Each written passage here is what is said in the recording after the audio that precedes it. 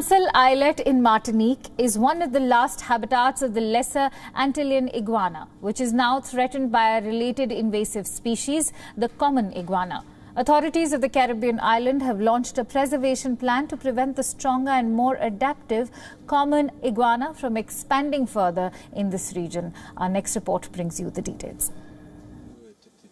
Often portrayed in movies as a fierce lizard or a harmless pet, the iguana is a reptile native to South and Central America.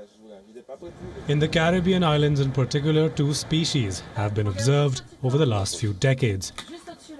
The common green iguana and the lesser Antillean iguana.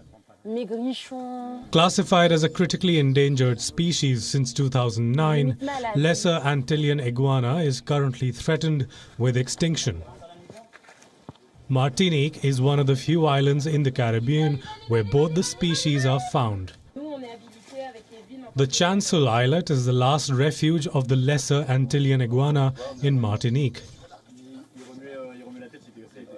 Threatened by the more invasive species, the common iguana, the lesser Antillean iguana is struggling to survive. The Chancel Islet is the last bastion of this iguana in Martinique. They're also found in the northern populations, the northern communes of Martinique around Mount Pelee.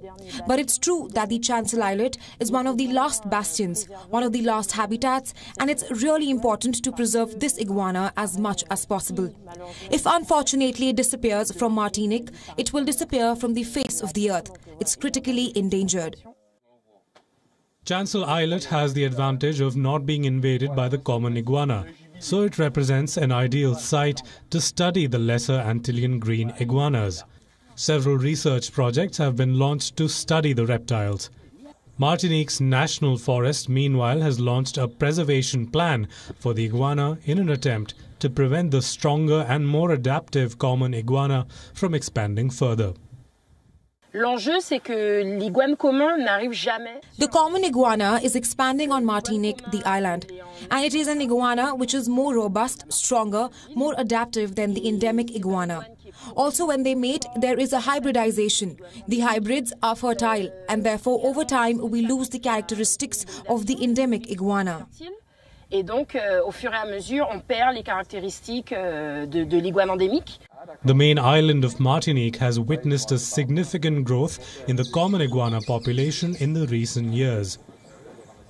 With fears of them going out of control, many residents of Martinique are now asking for precautionary measures before it becomes too late.